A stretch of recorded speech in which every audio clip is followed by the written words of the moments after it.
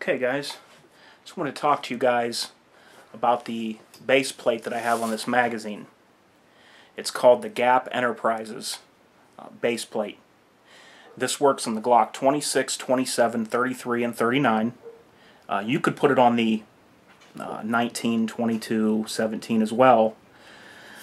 Uh, but it's more suited for these smaller mags. Um, and what this is good for is when you draw the gun, gives you a more positive draw. Kind of locks your ring finger on while you're drawing the gun, especially when it's in a um, in the waistband holster and the back of the holster is cut high. This really helps you with your draw, and it helps lock your hand in there when you're shooting. So what I'll do now is I'll go ahead and put it on the G27 and let you guys check it out. Okay, I'm going to go ahead and put the magazine into the Glock 27 and you can see there how it sticks out a little bit. It doesn't give you any more length or any extra capacity to the magazine. It just kind of sticks out a little bit.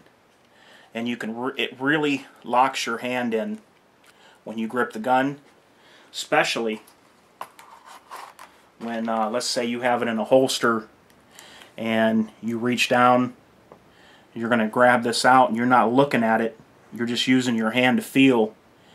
When you get down there and come in, your finger goes right up against it.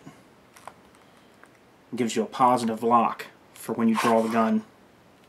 Okay? And for me, it just really uh, really sits secure. I have, you know, it kind of, I feel it against the bottom of my finger here, but it's not pushing it upward.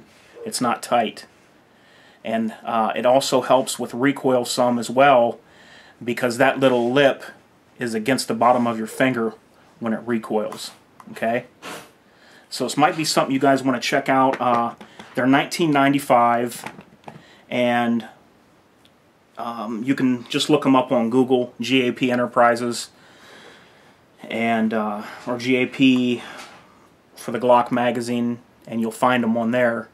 And I really like it. It just it makes everything makes everything about it better, and for sure, when you draw the gun, you get that grip on there. You know, so it's really a good idea, something you might want to look into and get for your smaller Glocks. Alright guys, I uh, hope this video was helpful, and if you have any questions, just let me know. This is Humans for Targets, and I'm out.